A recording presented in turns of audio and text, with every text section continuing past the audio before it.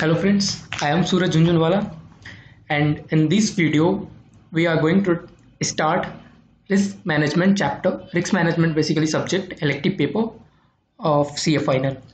Basically ये paper six A है C A final का एंड ये बहुत ही इंटरेस्टिंग इनिशिएटिव है हम लोग के लिए कि रिस्क मैनेजमेंट और आई विल ट्राई कि हम max to max videos chapters पे यूट्यूब पे डाल दूँ ताकि आपको बहुत इजी हो जाए। अगर आप सेल्फ प्रिपरेशन कर रहे हो, चाहे क्लासेस देख के करना चाहते हो तो आपको बहुत इजी हो जाएगा सिक्स ए प्रिपेयर करने के लिए।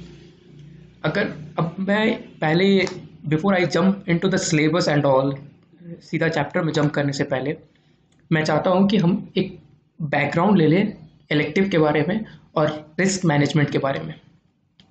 सो बेसिकली इलेक्टिव पेपर में आप सबको पता है कि there are are various options and उसमें से आप एक चूज़ कर सकते हो। तो risk management is one of the first option और अगर सिलेबस वाइज डिस्कस करें तो कंटेंट वाइज तो बहुत छोटा कंटेंट है। आई का स्टडी मटेरियल देखोगे तो it goes around at some 200 pages ठीक है? तो अगर आप देखोगे तो आपको कंटेंट वाइज बहुत कम है। ठीक है? डजेंट मीन कि आपका कंटेंट कम है तो आपका स्कोप कम हो जाता है बट स्टिल 200 पेसेस इज़ हम लोग के लिए तो पढ़ना बहुत ही एक चैप्टर के जैसा हो गया। सो uh, so, तो वन ऑफ़ तो आपका बोल सकते हो कि एक बेस्ट ऑप्शन है। अगर आप uh, अभी तक के क्वेश्चंस भी आप देखोगे तो उतना टफ नहीं है to solve you can easily track through those question ठीक है? तो रिस्क मैनेजमेंट ठीक है आप बोल सकते हो एक प्रेफरेबल एक ऑप्शन बन जाता है आपका इलेक्टिव के लिए। तो ठीक है अगर आप अगर आप ये वीडियो देख रहे हो तो आप ऑब्वियसली मोस्ट ऑफ़ यू मतलब ऑलरेडी सिलेक्ट कर चुका होगा कि रिस्क मैनेजमेंट ही लेना है। अगर आपने अभी भी डिसाइड नहीं कर पा रहे हो तो अब uh, सारे ऑप्शंस में प्रोज एंड कॉन्स एनालाइज करो और फिर चूज़ करो। सी आप एक सजेशन रहेगा कि आप मार्केट ट्रेंड के हिसाब से मत जाना।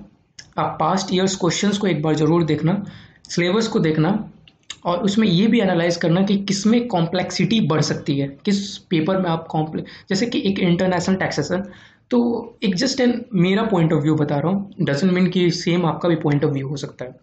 इंटरनेशनल टैक्सेशन में क्या होता है कि आई के पास एक्सपर्ट्स है जो कि क्वेश्चन डिज़ाइन कर सकते हैं उस लेवल का और इंटरनेशनल टैक्सेशन का स्कोप बहुत ह्यूज है। क्योंकि वो इनकम टैक्स से भी रिलेट करता है।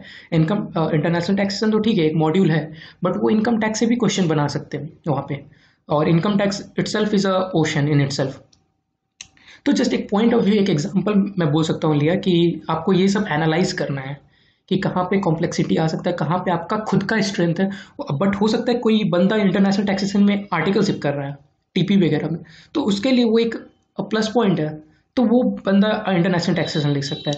बट इफ़ यू आर मतलब आपका कोई, आपका एक दस लोगों का ग्रुप है and if nine of them are taking international taxation you should not मतलब उनके ट्रेंड के हिसाब से उनके साथ ही नहीं चला जाना चाहिए कि वो इंटरनेशनल टैक्सेशन ले रहे तो दैट डजेंट मीन कि मुझे भी लेना चाहिए, ठीक है? आपको खुद का स्ट्रेंथ स्ट्रेंथ वीकनेस एनालाइज करके इलेक्टिव डिसाइड करना बहुत इंपॉर्टेंट है, क्योंकि इलेक्टिव एक ऐसा पेपर है कि आपको फेल भी करवा सकता है और आपको ये जो है, एक एग्रीगेट वाला जो सीनेरियो बनता है, उसमें भी क्रैक थ्रू करवा सकता है। तो बहुत बहुत बहुत इंपॉर्टेंट होता है कि इलेक्टिव आप सही करेक्ट पेपर आप अपने हिसाब से चूज़ करो। ठीक है? तो एक बार आप इलेक्टिव करेक्ट पेपर चूज़ कर लेते हो तो आपको एक माइंड मैप बनाना है कि अगर आप एग्ज़ाम में अपियर हो रहे हो तो क्या स्ट्रैटेजी आपको अप्लाई करना है। Obviously it is an open book examination तो आपको कंटेंट वाइज तो बहुत ज़्यादा कुछ रिमेंबर नहीं करना है। बट आपको एक माइंड मैप होना चाहिए आपके माइंड में कि कहाँ पे क्या क्या चीज़ दिया हुआ है। आपको एक बहुत क्लियर अंडरस्टैंडिंग होना चाहिए कॉन्सेप्ट का। आपको एक बात बहुत इंपॉर्टेंट है कि अगर इलेक्टिव पेपर में आपको याद नहीं करना है, आपको रिमेंबर नहीं करना है बट आपको जो अंडरस्टैंडिंग होना चाहिए, जो एक्सपर्टीज होना चाहिए, वो रिलेटिवली अदर सेवन पेपर से ज़्यादा होना पड़ेगा। एप्लीकेशन आपका ज़्यादा होना पड़ेगा। क्योंकि आ, बाकी सात पेपर में तो ऐसा ये भी एक्सपेक्ट करता है ना कि आपको याद भी करना है फिर आप एप्लीकेशन में उतना कॉम्प्लिकेशन नहीं कर सकते हो। ऐसे ये भी सोचता है।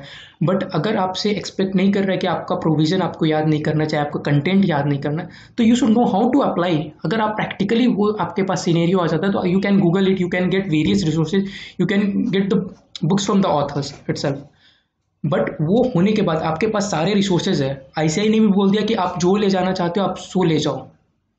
Whatever you want to take you carry it but आपको उसके बाद आपके पास जब पेपर है तो उस पेपर में जो केस स्टडी आ रही है वो अप्लाई करना आना चाहिए आपको।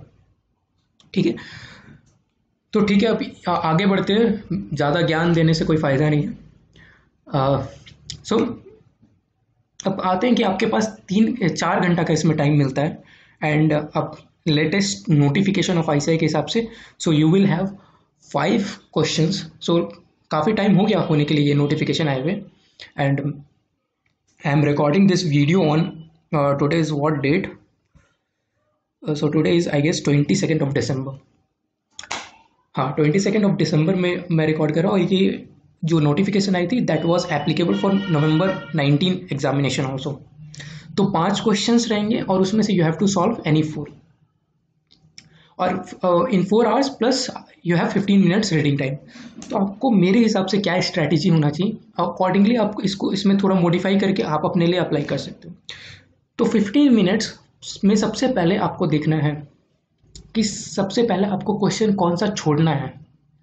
क्योंकि अगर आपने ये डिसाइड कर लिया कि क्वेश्चन कौन सा छोड़ना है then you will be able to decide कि अब आपको तो चारों क्वेश्चन करना है और अकॉर्डिंगली आप फिर अपना फर्दर प्लान डिसाइड कर सकते हो। तो सबसे पहला ये बहुत इंपॉर्टेंट होना चाहिए कि आप कौन सा क्वेश्चन छोड़ने वाले हो। ऐसा ना हो जाए आपके साथ कि आप कॉम्प्लेक्स क्वेश्चन के अंदर घुस गए हो और जो इजी आप इजीली इजीली कर सकते थे, वो पता चला आप ऑप्शन में आप वो क्वेश्चन को छोड़ के जा रहे हो। तो ये बहुत इंपॉर्टेंट है कि आप इस 15 मिनट्स को ऐसे यूटिलाइज करो कि आप first ten minutes twelve minutes और लेट से फिफ्टीन मिनट्स में ये डिसाइड कर लो कि आपने कौन सा क्वेश्चन छोड़ना है। फिर दूसरा अप्रोच होना चाहिए कि M C Qs M C Qs आपका फोर्टी मार्क्स का रहेगा। So you have to solve twenty M C Qs approx हो सकता है आपका नंबर्स चेंज हो जाए, अगर पता नहीं but twenty into two marks each तो ट्वेंटी एम सी क्यूज़ ये बहुत ही आपका बहुत ही इंपॉर्टेंट है। यही आपका डिसाइड करेगा कि पेपर आपका कहाँ जाने वाला है।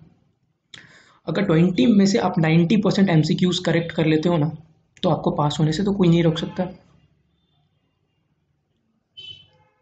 सो ट्वेंटी एम में से नाइन्टी परसेंट अगर आप करेक्ट कर लेते हो twenty into two M C Qs forty marks तो you will have thirty six marks ठीक है? एंड सो ये बहुत ही आपका हार्ड कैस है। मतलब तुरंत आप रियलाइज़ कर सकते हो। अगर हुआ तो ठीक है, नहीं हुआ तो आपका गए। ये बहुत इंपॉर्टेंट है, ये आपका डिस बेसिकली ये करियर डिसाइड करने वाला है, ये ट्वेंटी एम अगर आप सिक्सटी सेवेंटी स्कोर कर लो तो एम में थर्टी सिक्स थर्टी सेवन ले आए और बाकी आप तीस नंबर और स्कोर कर लेते हो। बाकी आप सिक्सटी में से थर्टी भी आप स्कोर कर लेते हो। तो you will have sixty seventy seventy marks approx और सेवेंटी मार्क्स अप्रॉक्स मतलब आपके पास बीस नंबर एक्स्ट्रा है। और 20 नंबर एक्स्ट्रा का मतलब होता है कि आपके पास दो पेपर के लिए एग्रीगेट बनाने के लिए नंबर है। मगर आप बाकी दो पेपर में अगर आप चालीस चालीस पे स्कोर करते हो तो यू हैव मतलब एग्रीगेट बना सकते हो। तो एम बहुत इंपॉर्टेंट है। एम में आप टाइम इन्वेस्ट करके आप पहला फ़र्स्ट आवर में आप ट्राई करो कि आप सारे एम कर लो। अगर वो केस स्टडी के अंदर से भी है तो यू ट्राई इट कि आप वो पोर्शन ऑफ़ केस स्टडी पढ़ने का ट्राई करो ऊपर ऊपर से कि आप वो पर्टिकुलर एम तो क्रैक कर लो, ठीक है? ये आपने चालीस एम कर लिया। लेट से आपका दो चार एम नहीं भी हो रहा है एक बार के लिए तो उसको आप एक बार के लिए छोड़ के आगे बढ़ो।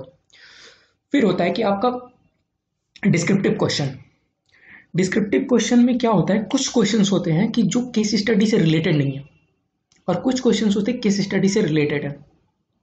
आपका केस स्टडी दिया, तीन चार पाँच जो भी पेज का है उसके बाद कुछ क्वेश्चन होगा, सीधा स्ट्रेट फॉरवर्ड होगा, आपको जाना है स्टडी मटेरियल खोलना है, और you have to write it अब आपके पास आपने ऑलरेडी चूज़ कर चुका है, क्योंकि आपने चार क्वेश्चन जो एक छोड़ना है, उस, वो तो आपने ऑलरेडी हटा चुका है, ठीक है?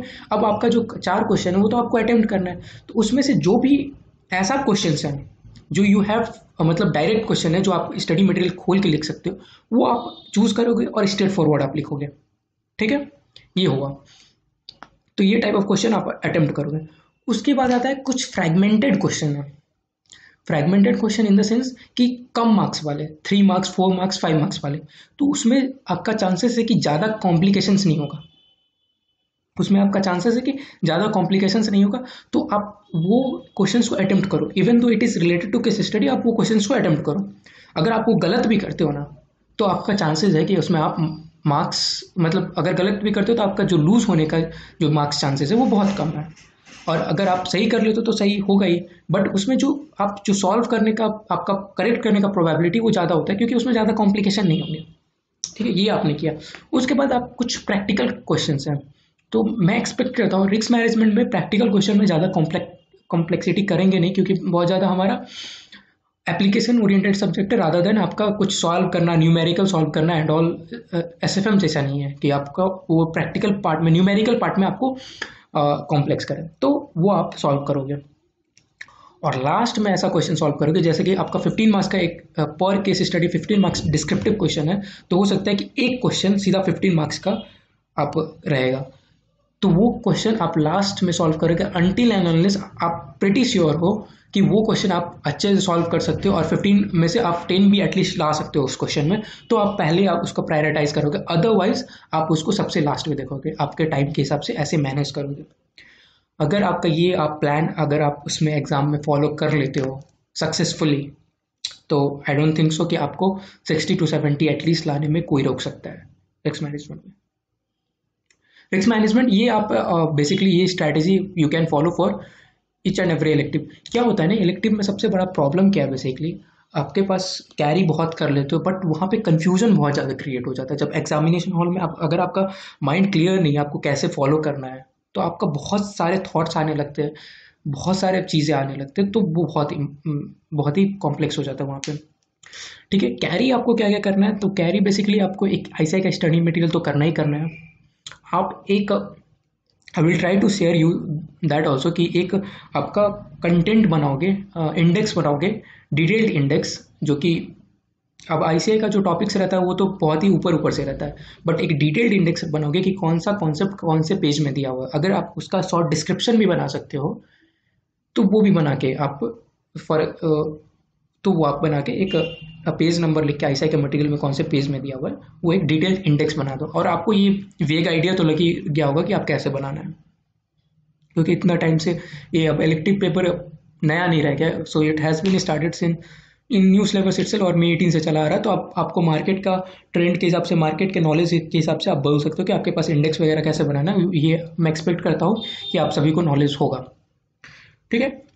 तो ये आप इंडेक्स बना के एक कैरी करोगे। आई का मटेरियल तो कैरी करोगे और जो भी अभी तक केस स्टडीज़ आई ने पूछा है एम और पास्ट ईयर केस स्टडीज़ वो आप बना के लेके जाओगे और उस केस स्टडीज़ में मेंशन करोगे कि इस केस स्टडीज़ में आई ने क्या क्या कॉन्सेप्ट कवर कवर किया है। ठीक है? क्या क्या कंसेप्ट इस आई ने कवर किया है। तो लेट्स से कि कोई पर्टिकुलर कॉन्सेप्ट किसी केस स्टडी में एज इट इज़ रिपीट हो जाता है। तो आपको बहुत ईजी हो गया ना कि आपको फॉर एग्ज़ाम्पल लेट से आप टेन केस स्टडीज़ अभी तक आई का आया है। टेन किस, case study let say twenty case studies. आपने एक इंडेक्स बनाया। एक इंडेक्स में आपने लिखा कि केस स्टडी वन में लेट से वार आई ने कवर किया है वी तो सीधा आप वी का कोई भी क्वेश्चन आता है। तो आप सीधा देखोगे कि केस स्टडी वन, चाहे केस स्टडी फाइव, जो में भी बाहर के रिलेटेड डिस्कस किया हुआ है तो सीधा केस स्टडी फाइव में जाओगे तो आप चेक करोगे कि कुछ मिलता जुलता तो नहीं है। हो सकता है कि आपका फॉर एग्ज़ाम्पल कोई न्यूमेरिकल है वार का। अब वो न्यूमेरिकल एज इट इज़ तो रिपीट नहीं हुआ बट आपका जो नंबर्स है, जो भी आपका जो गिवन होता है क्वेश्चन में, वो सेम है और रिक्वायरमेंट भी सेम है बट नंबर्स नहीं चेंज है। तो आप सॉल्व करने का एटलीस्ट फॉर्मूला वगैरह तो आप एज इट इज़ वहाँ पे चेप सकते हो ना। नंबर्स आप चेंज करें और सॉल्व कर ले। तो ये सब चीज़ बहुत इंपॉर्टेंट होता है। बहुत सारे स्टूडेंट यहाँ पे मिस कर जाते हैं कि वो केस स्टडीज़ तो कैरी करते हैं बट ये चीज़ करना भूल जाते हैं कि केस स्टडी वन में क्या कवर किया है ऐसे नहीं केस स्टडी टू में क्या कवर किया है केस स्टडी थ्री में क्या टॉपिक्स आई ने कवर किया है। ठीक है? ये बहुत इंपॉर्टेंट होता है। नहीं तो आप क्या करोगे कि एक पर्टिकुलर क्वेश्चन के लिए आप 20 केस स्टडी ले जा रहे हो तो 20 का 20 केस स्टडीज़ आपको वापस से देखना पड़ेगा। वहाँ पे एग्जामिनेशन में। और फिर वो बहुत टाइम कंज्यूमिंग होता है और फिर आपके, एक बार आपको लगने लगा कि आप टाइम से शॉर्ट पढ़ रहे हो तो आपका सारा प्लानिंग का वो हो जाता है मेसअप हो जाता है। ठीक है? तो आपको इतना चीज़ तो मिनिमम करना है। और आप अपने प्लानिंग के हिसाब से आप कुछ नोट्स बना रहे हो तो नोट्स कैरी कर लो एंड और एक्सेट्रा एक्सेट्रा ठीक है? तो हमारा ज्ञान सेशन यही ख़त्म होता है और हम आज कुछ पहले थोड़ा सा जनरल कॉन्सेप्ट डिस्कस करेंगे एंड फिर हम लोग कुछ बाहर डिस्कस करेंगे। वी ए आर एंड फिर हमारा ये इंट्रोडक्शन लेक्चर यहीं पे ख़त्म होगा। सो so, चलो पढ़ाई की बातें अब कर लेते हैं।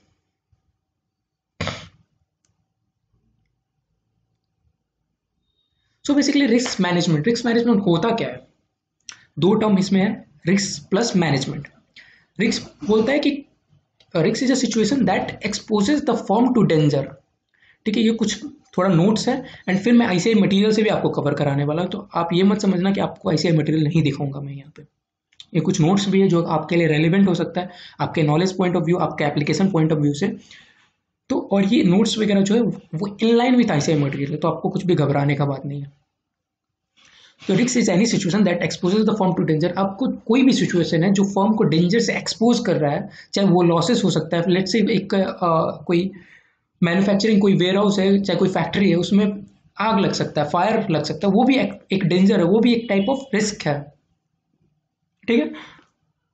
तो कुछ भी कोई भी ऐसा सिचुएशन जो फॉर्म को डेंजर से एक्सपोज करता है दैट इज़ रिस्क और मैनेजमेंट मतलब क्या होता है?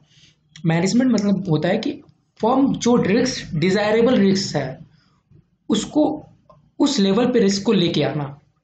और ये डिजायरेबल रिस्क क्या हो सकता है? क्या इसमें हम रिस्क को बढ़ा भी सकते हैं? तो आंसर ही चीज़ घटाना तो ठीक है, मगर बढ़ा भी सकते हैं? आंसर ही चीज़ अगर फॉर एग्ज़ाम्पल कोई रिस्क अगर फॉर्म के टॉलरेंस लिमिट के भी बहुत कम है टॉलरेंस लिमिट से भी बहुत कम है, अगर वो रिस्क बढ़ाने से फॉर्म को रिटर्न अच्छा मिलने वाला है, वो रिस्क बढ़ाने से फर्म को रिटर्न अच्छा मिलने वाला है तो फॉर्म अपना टोलरेंस लिमिट तक बढ़ा सकती है उस रिस्क को, और उससे रिटर्न रियलाइज़ कर सकती है। तो risk management doesn't necessarily means कि आपका रिस्क को कम करना इट मे ऑल्सो मीन कि आप रिस्क को बढ़ा रहे हो। So that is basically risk management okay अब यहाँ पे बेसिकली तीन टाइप ऑफ़ रिस्क होता है। Known risk unknown risk and unknowable risk known risk क्या होता है कि जिस रिस्क को आप पास्ट डेटा से आप उसका प्रोबेबिलिटी कैलकुलेट कर सकते हो। उसको बोलते हैं नोन रिस्क आपको इवेंट भी पता है उसका फ्रीक्वेंसी भी पता है उसका सीवियरिटी भी पता है। On the basis of your past data अभी तक जो ट्रेंड आ रहा है उसके हिसाब से आपको इवेंट किस इवेंट से रिस्क अराइज होने वाला है वो पता है। उस उस इवेंट का रिपीट होने का कितना uh, कितना फ्रिक्वेंटली वो रिपीट होगा कितना फ्रिक्वेंटली वो रिपीट होने वाला है इज़ ऑल्सो नोन एंड कितना uh, उसका सीवियरिटी अगर वो इवेंट होता है तो कितना सीवियर आपको लॉस होगा। तो दैट इज़ बेसिकली अगर ये तीन चीज़ आपको पता है on the basis of past data आपको उसका प्रोबेबिलिटी वगैरह पता है तो then then you can say that is your known risk इसका एग्ज़ाम्पल होता है market risk and credit risk इसको हम सेपरेट चैप्टर में हम ये पर्टिकुलर रिस्क का टाइप्स को हम डिस्कस करने वाले हैं। अननोन रिस्क होता है कि आपको इवेंट तो पता है, किस इवेंट से रिस्क अराइज होने वाला है, वो तो पता है बट उसका फ्रीक्वेंसी एंड सीवियरिटी नहीं पता है, कितना फ्रीक्वेंटली वो इवेंट अकर होने वाला और उसका कितना अगर वो इवेंट होता है तो कितना सीवियर होगा वो इवेंट उसके कारण कितना लॉस होगा, कितना डेंजर होगा? दैट इज़ नॉट नोन तो उसको आप बोलोगे अननोन रिस्क उसको क्या बोलोगे? अननोन रिस्क एंड उसके बाद आता है अननोएबल रिस्क मतलब आपको कुछ भी पता नहीं इवेंट भी पता नहीं है, और आपको फ्रीक्वेंसी भी नहीं पता है और आपको सीवियरिटी भी नहीं पता है. तो that is basically unknowable risk that is unknowable risk तो इसका राइटअप आप पढ़ोगे तो here we don't even know the event which can cause the damage ठीक है? जैसे कि मल्टी इसमें multi volume encyclopedia was wiped out by Google अब जो मल्टी वॉल्यूम इंसाइक्लोपीडिया जो पहले आपने सुना होगा, आपने किसी ने पढ़ा भी होगा बचपन में तो उस इंसाइक्लोपीडिया आज के डेट में कुछ भी रेलिवेंस है उस इंसाइक्लोपीडिया का आंसर सुनो उसने कभी सोचा भी नहीं था कि कुछ ऐसा इवेंट हो जाएगा जिसके कारण उसका पूरा मार्केट ही बंद हो जाएगा। ठीक है? ये तो सोच सकता है कि कुछ ऐसा कॉम्पिटिटर्स आ जाए जिसके कारण इंसाइक्लोपीडिया का सेल्स वगैरह कम हो जाए। मगर ऐसा कभी नहीं सोचा था कि उसका गोइंग कंसर्न ही खत्म हो जाए। तो ना हमें ये पता था कि इवेंट आ सकता है, ना उसका फ्रीक्वेंसी ना इसका सीवियरिटी कुछ भी नहीं पता था। तो इसको बोलते हैं अनोएबल रिस्क और इसका एक और नाम है you can call it as black swan events ठीक है? हाँ। और अननोन रिस्क को एक चीज़ we can call unknown risk as uncertainty और ये एक, इसका एक एग्ज़ाम्पल है ऑपरेशनल रिस्क ठीक है? चलो।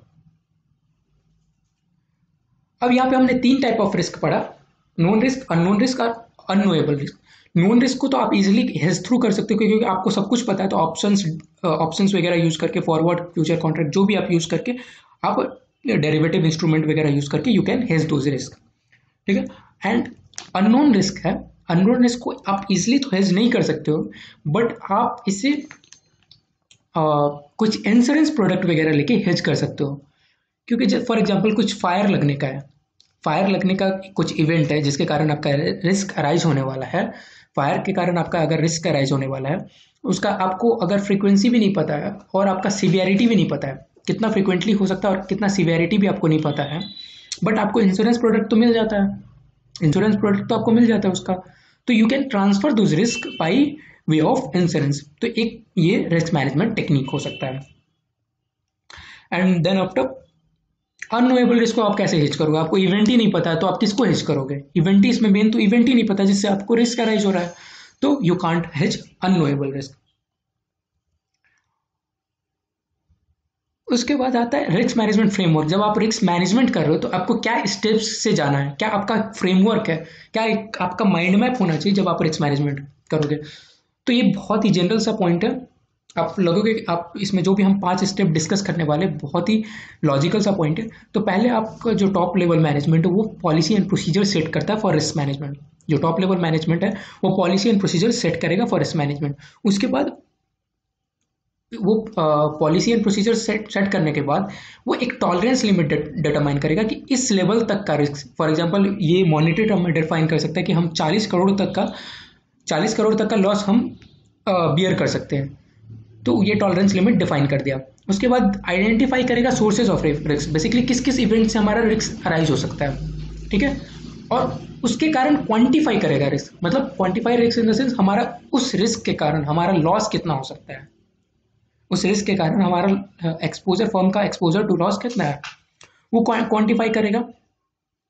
और उस क्वांटिफिकेशन करने के बाद कंपेयर करेगा कि क्या क्या ये हमने जो रिस्क हम, हमारा जो एस्टिमेट ऑफ़ रिस्क है और जो हमने टॉलरेंस लिमिट सेट किया है तो क्या वो विद इन टॉलरेंस लिमिट है कि नहीं? जो हमारा एक्सपेक्टेड रिस्क है एक्सपेक्टेड लॉस है जो हमको लगता है हो सकता है और हमारा जो टॉलरेंस लिमिट है हम जितना सह सकते हैं क्या वो उसको कंपेयर करके डिटरमाइन करेंगे कि हमारा जो एक्सपेक्टेड लॉस है क्या वो विद इन टॉलरेंस लिमिट है कि नहीं ठीक है?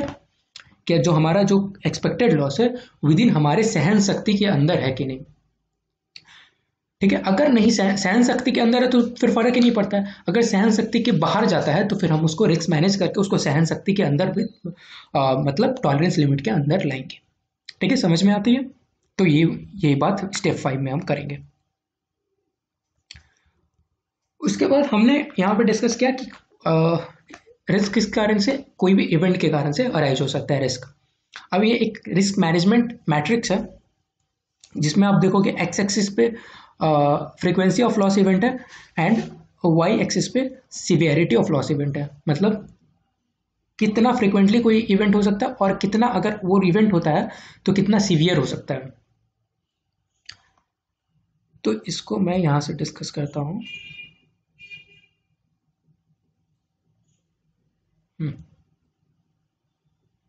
यहाँ पे देखो कैटेगरी अगर कोई इवेंट जो लो फ्रिक्वेंटली हो, होता है और उसका सीवियरिटी भी लो है लो फ्रिक्वेंटली और लो सीवियरिटी है उस रिस्क को क्या बोलोगे? आप रिटेन कर लोगे उससे कोई फ़र्क नहीं पड़ता। आपका यूजुअली वो आपका टॉलरेंस लिमिट के अंदर रहेगा क्योंकि आपका लो फ्रिक्वेंटली भी और उसका सीवियरिटी भी लो है। आपका जो उसका जो इम्पैक्ट होने वाला है जिसके कारण वो लॉस होने वाला है वो भी कम है और वो लेस फ्रिक्वेंटली भी हो रहा है।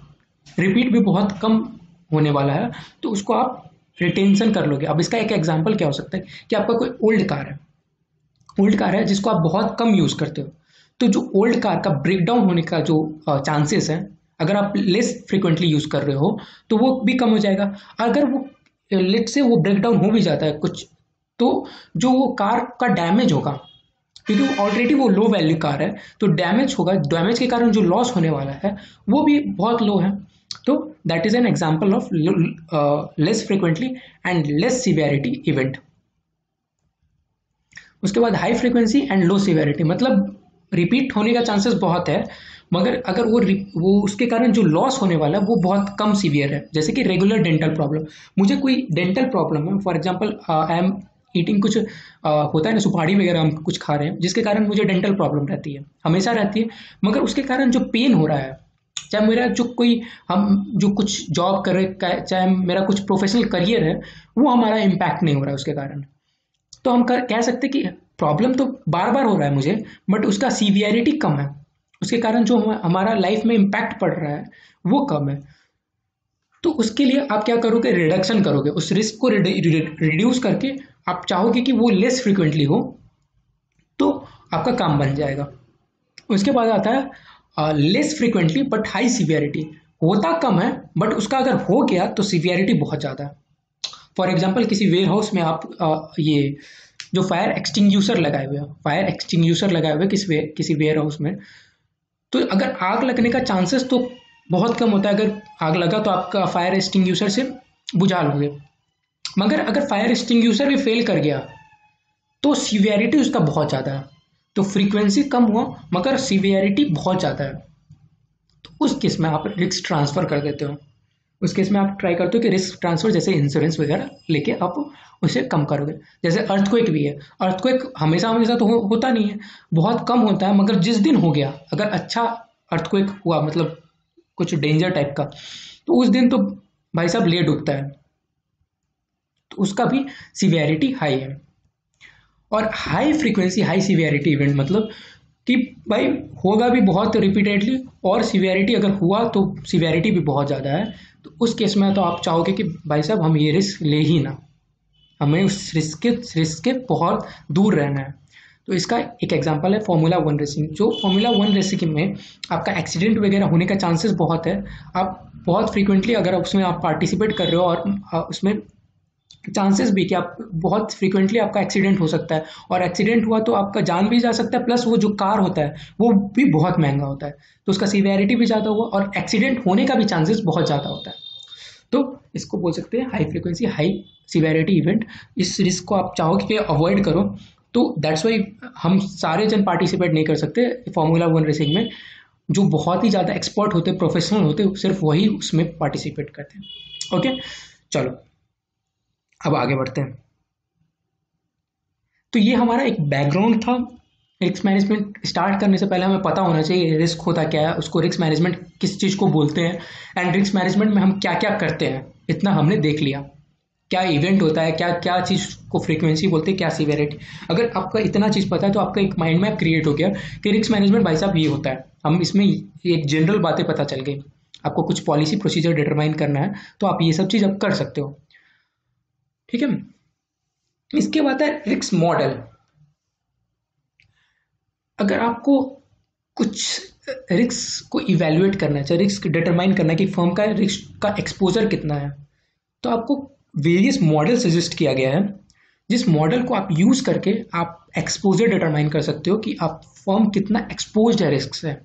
फर्म कितना रिस्क से एक्सपोज है तो उसके लिए आप रिक्स मॉडल यूज़ करोगे वेरियस मॉडल यहाँ पे दिया हुआ है and I will take you to the I study material as well ये आपका चैप्टर फाइव है आईसीए स्टडी मटेरियल का और रिक्स मॉडल वेरियस यहाँ पे सजेस्ट किया हुआ है।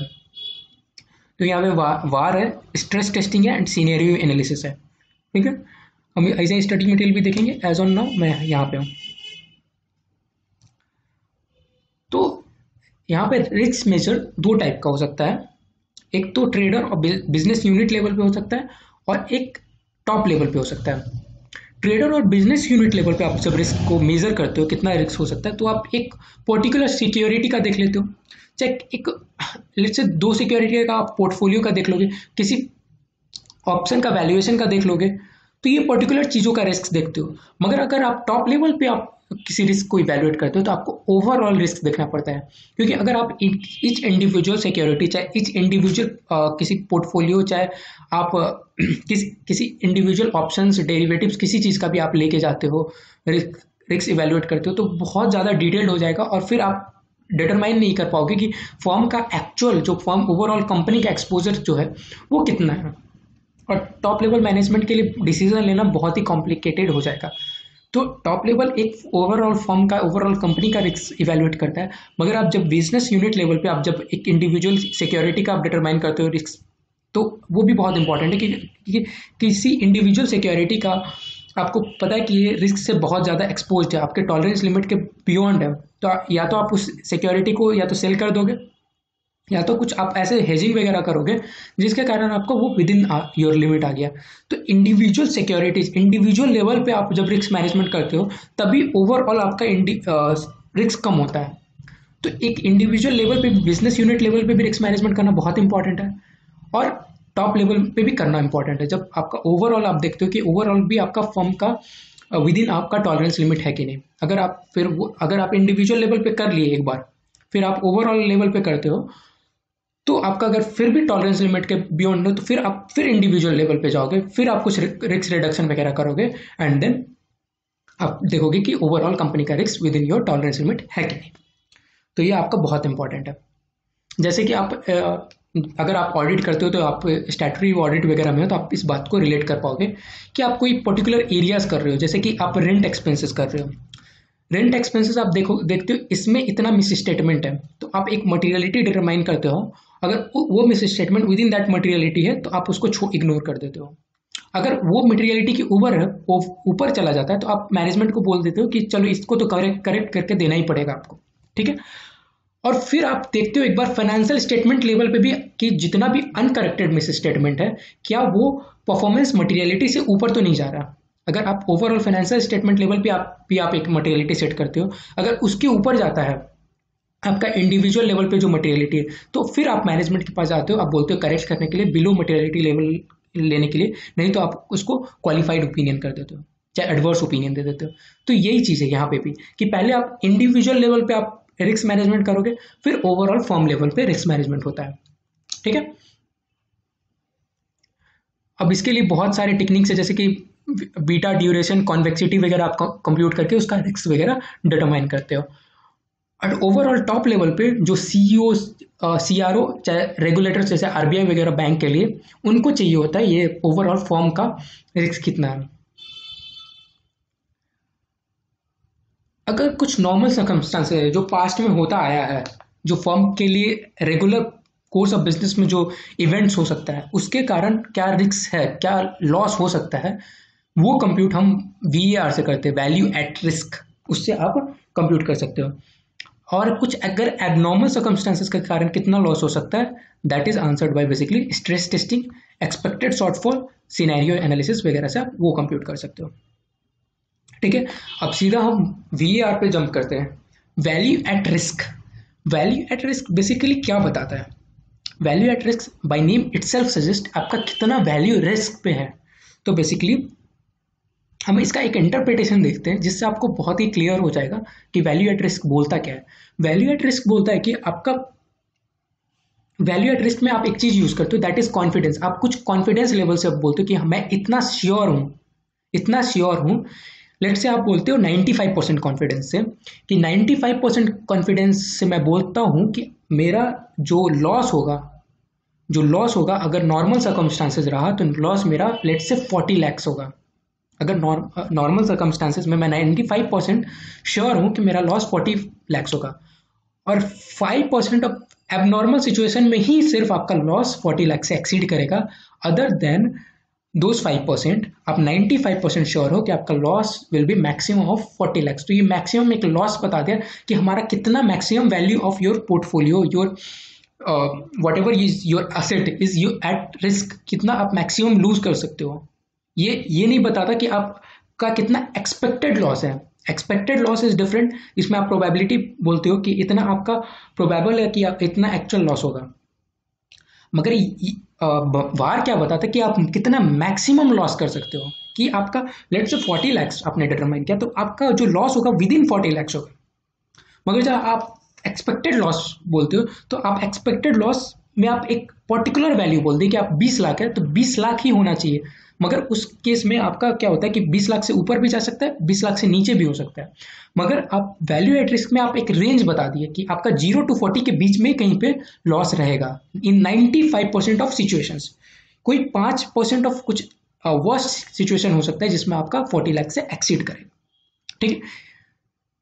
तो वैल्यू एट रिस्क क्या बोलता है? Amount at amount at stake मतलब आपका कितना एक्सपोज uh, है आपका amount let's say if 5% daily VAR is 40 crore, it can be interpreted in two ways. We are 95% confident that maximum possible daily losses would be 40 crores and in five percent of worst circumstances loss will be at least forty crore ठीक है हमने ये discuss किया ठीक है तो five percent of worst circumstances में आप कितना लॉस कर सकते हो ये आपका वी बताता है हम्म। मैंने बताया अभी वार एक्सपेक्टेड लॉस नहीं वार एक्सपेक्टेड लॉस में आप एक अमाउंट सेट कर दिए कि आपको लगता है कि लेट से ट्वेंटी लैक्स तो आपका लॉस जो होगा ट्वेंटी लैक्स के आजू बाजू ही रहेगा। Late say twenty one nineteen lakhs इसी के आसपास ही अराउंड करेगा तो आप एक एक्सपेक्टेशन सेट कर देते हो। मगर बाहर में आप एक रेंज सेट कर देते हो कि ज़ीरो टू फोर्टी के बीच में आपका लॉस एक्चुअल लॉस रहेगा। मगर आपका जो मैक्सिमम होगा, वो फोर्टी लैक्स से एक्सीड नहीं करेगा। ठीक है? ये होता है बाहर आप ये देख देख सकते हो कि आप यहाँ पे, आप ये बोलते हो कि आपका फाइव परसेंट ही चांस है जिसमें ये लॉस जो है फोर्टी लैख से एक्सीड करेगा। बाकी आपका नाइन्टी फाइव परसेंट सिचुएशन में यहाँ से यहाँ पे ये लॉस रहेगा। That is within forty lakhs forty crore यहाँ पे फोर्टी करोड़ हमने यूज़ किया तो फोर्टी करोड़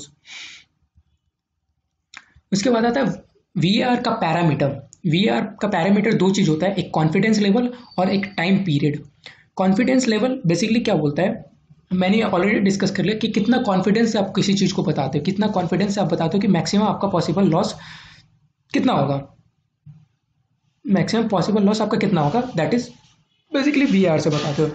तो ऑब्वियसली आप जितना कॉन्फिडेंस लेवल इंक्रीज करोगे सॉरी जितना आप कॉन्फिडेंस लेवल इंक्रीज करोगे, उतना ही आपका जो मैक्सिमम लॉस जो होगा मैक्सिमम लॉस होने का, जो एक्सपेक्टेशन मैक्सिमम लॉस होने का जो आप रेंज सेट करोगे, वो ही बढ़ेगा। अगर आप 95 परसेंट कॉन्फिडेंस से बोलते हो कि आपका 40 करोड़ होगा तो आपको 99 परसेंट जब आप कॉन्फिडेंस से बोलोगे तो ऑब्वियसली आपका वो जो लॉस का जो मैक्सिमम लिमिट है, वो इंक्रीज करना पड़ेगा ना। क्योंकि आप बोल रहे हो कि ज़्यादा कॉन्फिडेंस है। आप ज़्यादा श्योर हो तो आपका ऑफकोर्स आपका वो जो मैक्सिमम लॉस है, वो इंक्रीज हो जाएगा।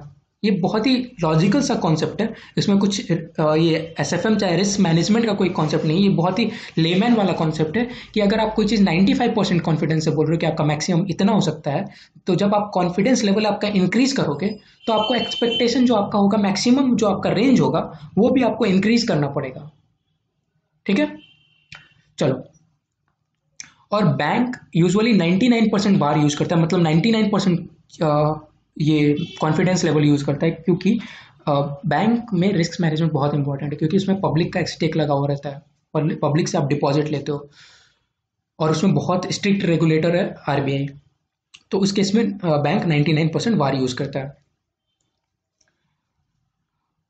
उसके बाद आपका टाइम पीरियड टाइम पीरियड में already obviously ten day VaR is bigger than one day VaR अब कुछ आप टाइम पीरियड लोगे बार कैलकुलेट करने के लिए let's say one day VaR ten day VaR कि मतलब इस दस दिन के टाइम पीरियड में आपका कितना वैल्यू एट रिस्क है। इस वन वीक के वार में आपका कितना वैल्यू एट रिस्क है। इस एक साल में आपका कितना वैल्यू एट रिस्क है। ठीक है? तो आप कुछ तो टाइम पीरियड होगा ना कि इस टाइम पीरियड में आपका क्या इवेंट्स के कारण आपका वैल्यू एट रिस्क होगा। तो ऑब्वियसली टेन डे बार होगा, जो वन डे बार से ज़्यादा होगा। टेन डे में जो वैल्यू आपका रिस्क एट रिस्क है, वो वन डे से तो ज़्यादा ही होगा ना। बहुत ही लॉजिकल सा है। ठीक है इसमें एक स्क्वायर रूट रूल क्या होता है? स्क्वायर रूट रूल बेसिकली क्या होता है कि हम्म, अब एक एग्जांपल से मैं इसको आपको बताता हूँ।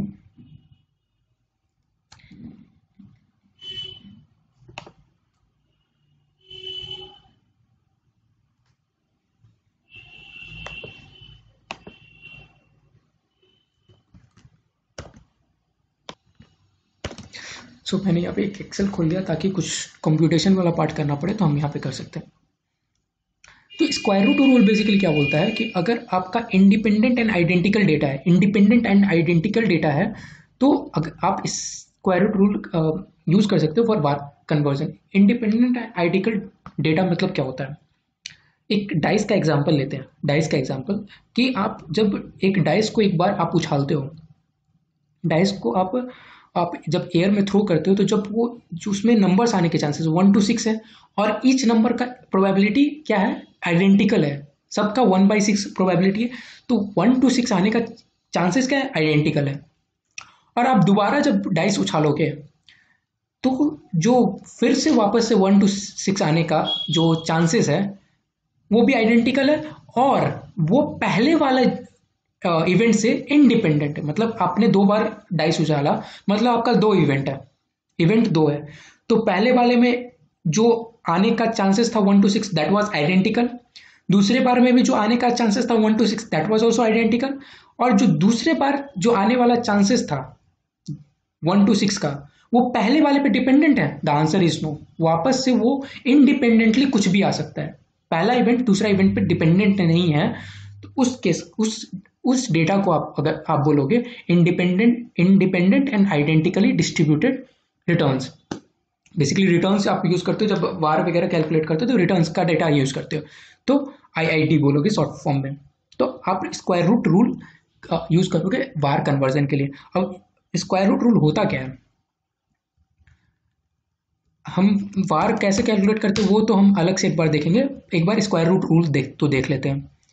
लेट से वार आपका टेन डे का दिया हुआ क्योंकि हम टाइम होराइजन डिस्कस कर रहे थे तो ये डिस्कस कर लेना इस ten day VaR is let's say यहाँ पे आपका दिया हुआ है टू करोड़ फोर्टी लैक्स और आपको वार निकालना है, एक दिन में क्या वार हो सकता है?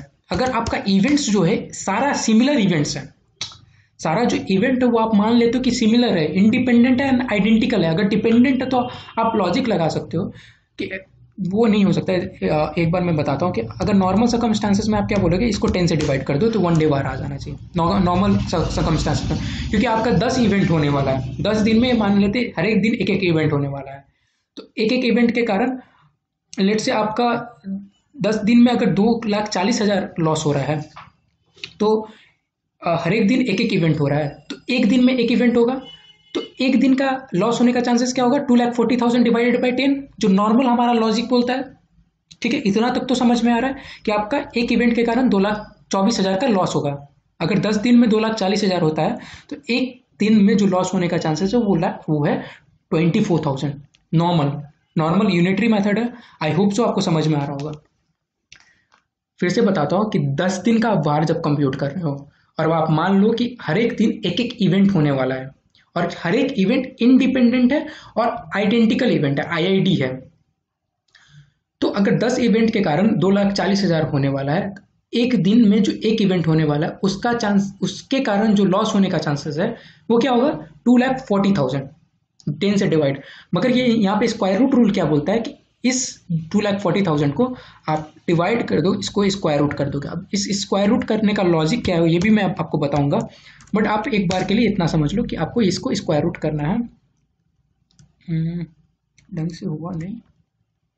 मतलब होप हो गया जो भी है। तो ये आपका वन डे बार निकल जाएगा। बेसिकली रूट अंडर जो भी टाइम पीरियड है आपको रूट से डिवाइड करना है चाहे मल्टीप्लाई करना है। For example one day VaR को आप वापस से टेन डे बार में लेके जाना है तो आपको इसको इंटू इंटू करना पड़ेगा टेन का स्क्वायर रूट से।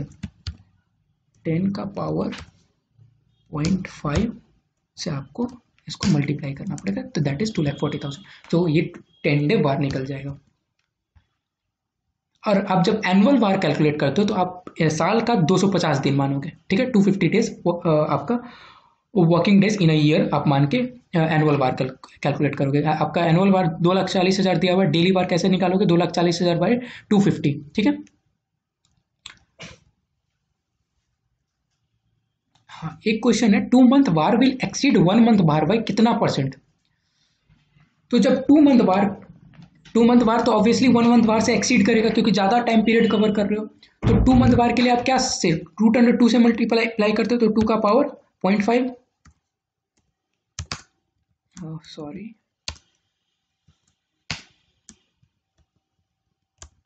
two का पावर पॉइंट फाइव इतना से तो बेसिकली कितना परसेंट से इंक्रीज एक्सीड करेगा? तो इसमें आप माइनस वन करोगे तो forty one point four two percent से इंक्रीज करेगा। ठीक है, वही चीज़ है, आप एक बार देख लेना। वीडियो पॉज वगैरह करके जैसे भी आपको देखना हो।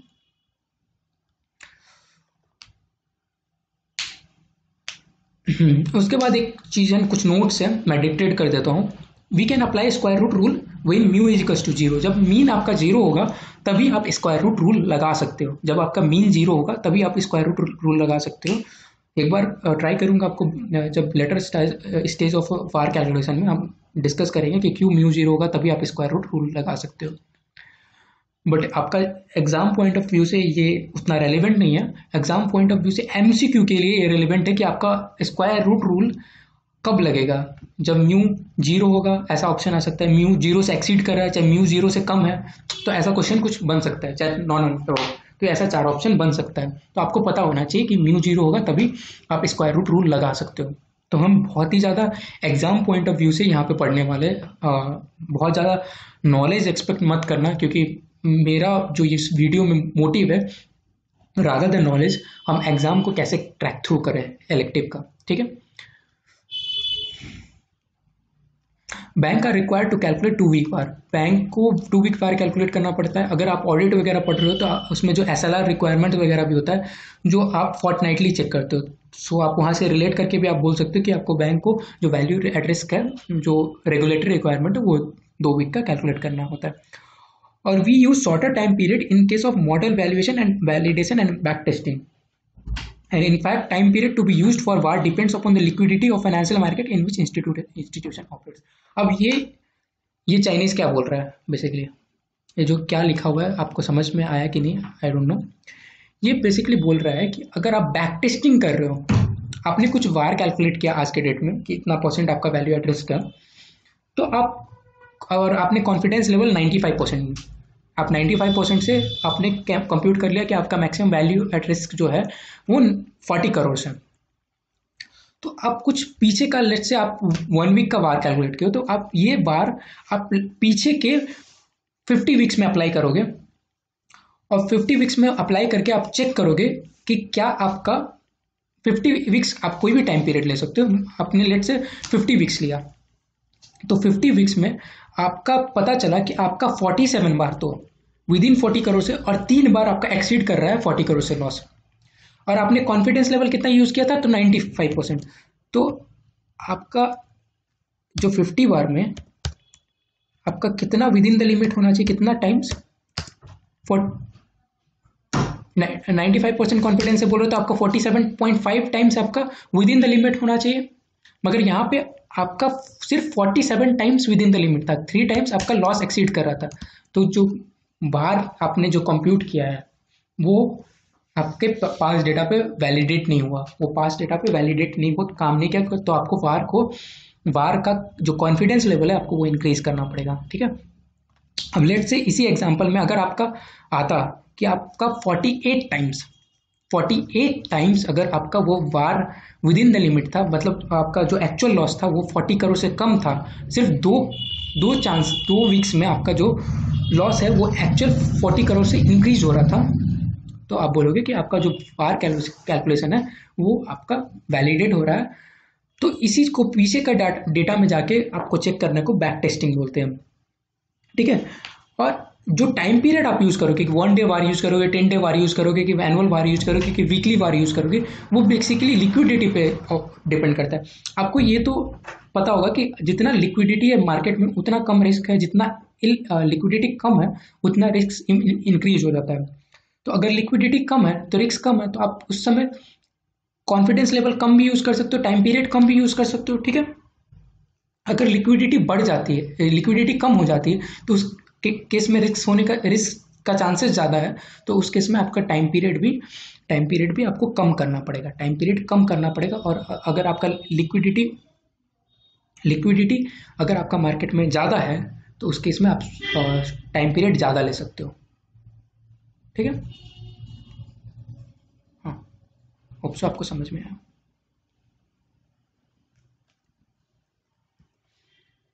ठीक है, हमारे नोट से इतना है, फिर अब आप एक बार आईसीआई का मटेरियल देख लेते हैं।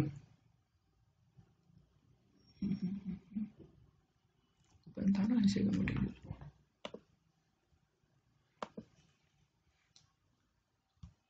तो हमने देखा था VaR stress testing and scenario analysis का डिस्कशन आपने कर लिया है।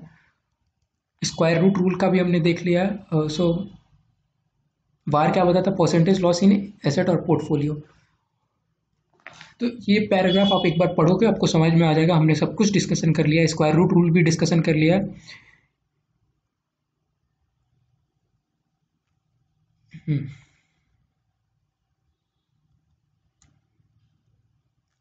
ये आप देखोगे, वार ये बेसिकली आपका लेफ़्ट साइड लेफ़्ट साइड का टेल यूज़ करता है कि आपका कितना प्रोबेबिलिटी है मैक्सिमम लॉस का। ठीक है, ये paragraph you can read yourself आपको समझ में आ जाएगा कि यहाँ पे बोल रहा है VaR is dependent upon two parameters holding period and time interval VaR के लिए आप कॉन्फिडेंस यूज़ कर सकते हो ninety ninety five percent ninety nine percent और indeed any fraction between zero and one zero and one मतलब zero percent और hundred percent के बीच में आप कोई भी कॉन्फिडेंस लेवल यूज़ करके बता सकते हो। तो आप ये पढ़ोगे, बहुत ही जनरल से आप समझ में आ जाएगा। एकदम आराम से। और नॉर्मली जो आप कॉन्फिडेंस लेवल यूज़ करते हो बार कंप्यूटेशन के लिए वो confidence level ninety percent ninety five percent और नाइन्टी नाइन परसेंट तो अगर uh, आप लेट से ये एक बार मैं पैराग्राफ्स पढ़ के समझाता हूँ। In above chart we have following observation that is probability of observing a value more than one point two eight standard deviation probability of observing a value more than one 1.28 of standard deviation below mean, below the mean is 10 percent इसके, इससे पहले एक चीज़ हम समझ लेते हैं तो आपको ये क्लियरली समझ में आएगा। बार का कैलकुलेशन कैसे होता है? बार का कैलकुलेशन होता है basically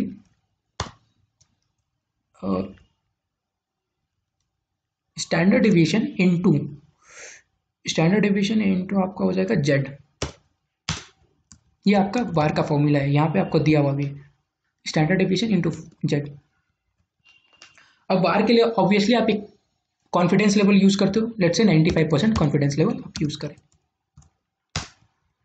और इसका फॉर्मूला क्या है? Standard division into Z standard division क्या डिनोट करता है? स्टैंडर्ड डिवीज़न बोलता है कि बेसिकली आप मीन से मीन से ऑन एन एवरेज कितना डिविएट हो सकते हो? मीन से on an average not maximum maximum deviation नहीं बताता है। मीन से ऑन एन एवरेज आप कितना डिविएट करोगे?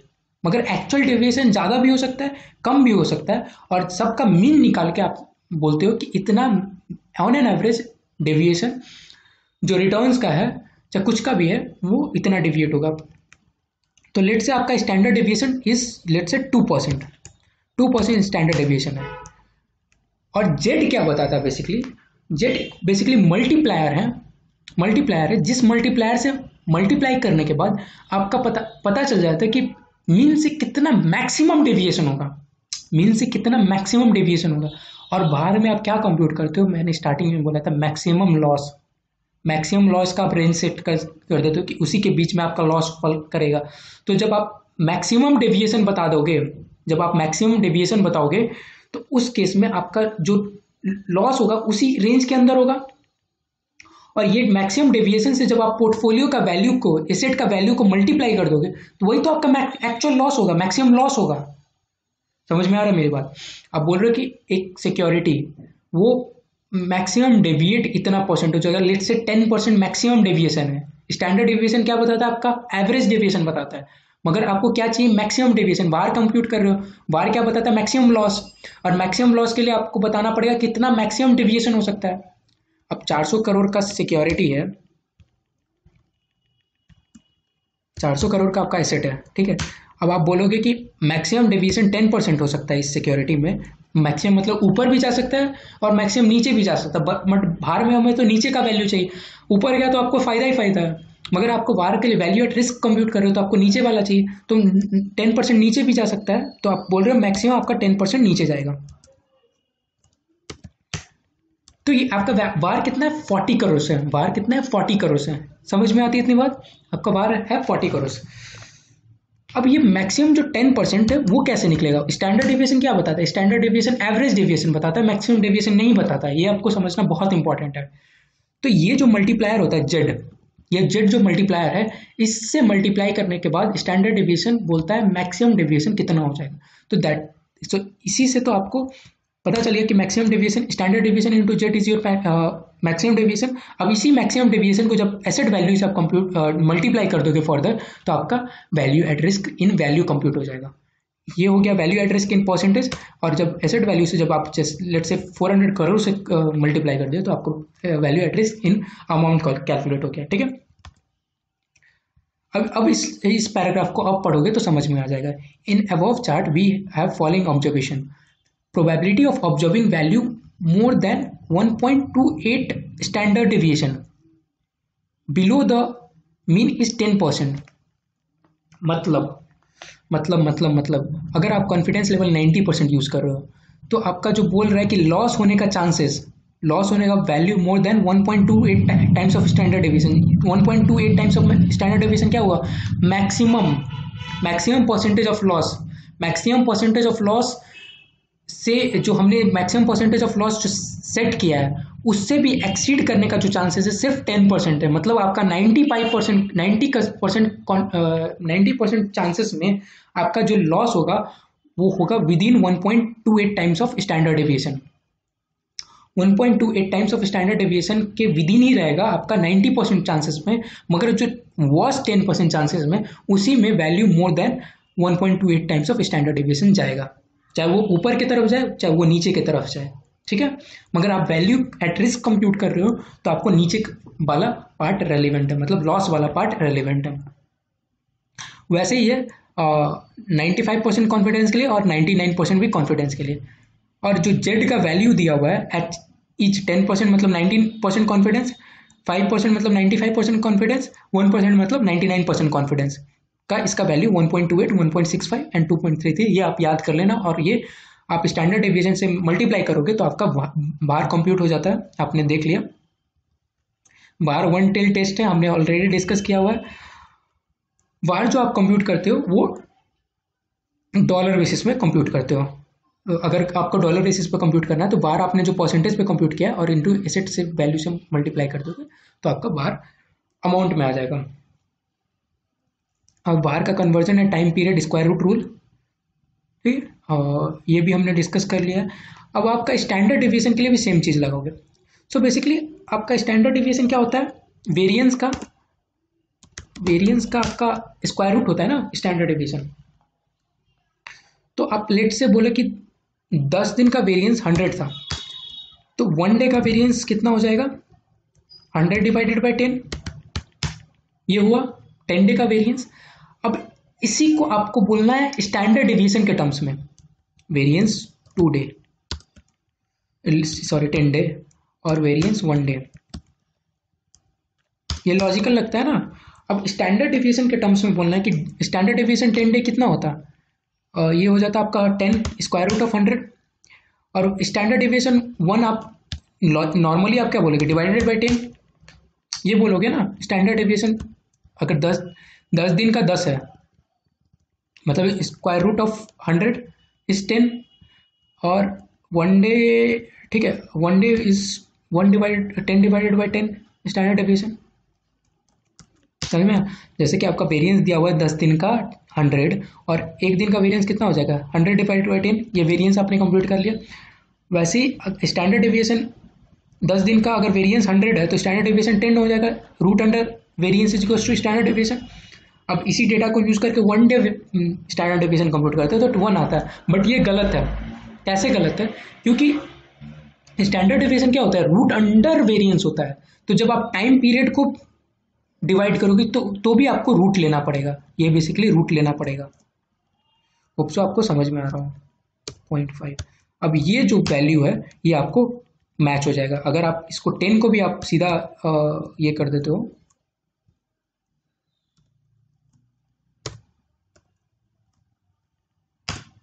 सेम वैल्यू आ रहा है तो अब आप देखोगे कि मल्टीप्लाई ये मैच हो रहा है।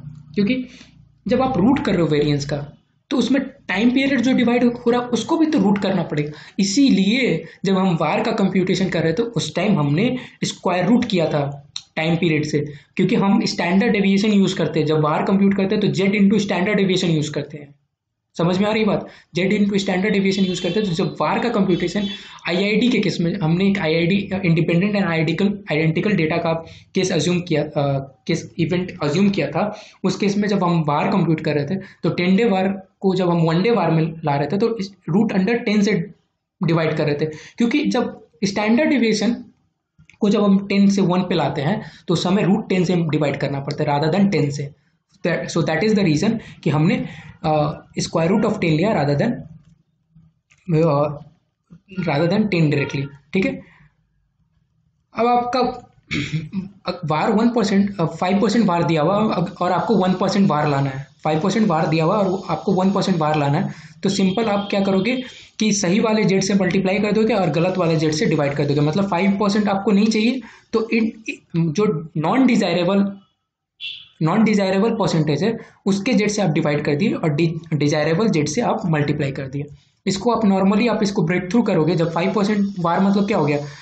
Z Z five percent into standard division Z five percent और जेड फाइव परसेंट कैंसिल हो गया और standard division into Z one percent will be VaR one percent तो नॉर्मल एक डेरिवेशन ऑफ़ फॉर्मूला है नथिंग एल्स और VaR parameter भी हमने, ये पूरा चीज़ हमने बैक टेस्टिंग भी हमने डिस्कस कर लिया two parameters holding period and confidence level भी डिस्कस कर लिया। ठीक है? तो ये सारे चीज़ हमने ऑलरेडी डिस्कस कर चुके हैं। उसके बाद हम नेक्स्ट वीडियो में हम वार मेथड पे जाएँगे। आज के वीडियो में हमने बेसिकली कवर क्या किया कि हमने पहले स्टार्ट किया इंट्रोडक्शन से इलेक्टिव आर एम क्यों चूज़ करना चाहिए? चाहे कोई भी आप इलेक्टिव क्यों चूज़ कर रहे हो?